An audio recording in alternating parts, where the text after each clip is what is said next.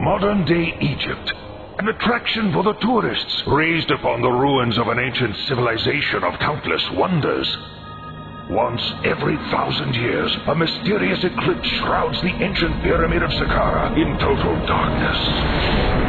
Only chosen members of the secret order know that the sunlight which escapes the land of the mortals is needed deep below the sands, in the long forgotten resting place of ancient legends.